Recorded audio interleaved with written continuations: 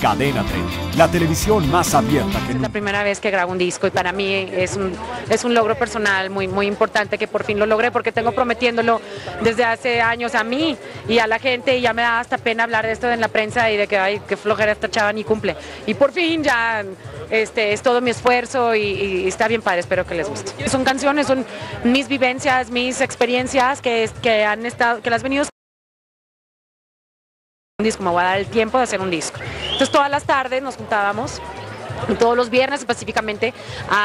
también junto con temporada de Nueva York que estaba dando funciones en la noche, nos juntábamos y grabábamos un tema distinto cada viernes, cada viernes y nos tomó nueve meses hasta que ya pues yo dimos a luz a El Mundo Era Mío. No es pretencioso, no pretendo hacer nada, toco piano y guitarra desde que tengo este, 10, 11 años, es algo que nada más no se me ha dado por yo darle preferencia al escenario por las oportunidades que la vida me ha dado para, para otras cosas que estoy bien agradecida. Pero yo había abandonado mis, mis sueños personales y eso es lo que yo le digo a todo mundo que aparte de, o sea, hagan lo que hagan, siéntanse afortunados y siéntanse muy agradecidos con la vida, que, han abierto camino en muchas cosas, pero nunca abandonen sus sueños personales. Y nunca, no importa qué edad tengan, no importa en qué momentos estén de sus vidas, defiéndanlo y sáquenlo, porque no, se queden con las ganas. Adolfo Infante, suscríbete a nuestro canal de YouTube y entérate antes que nadie de lo que hacen tus artistas favoritos. Empieza ahora mismo dándole clic a estos videos.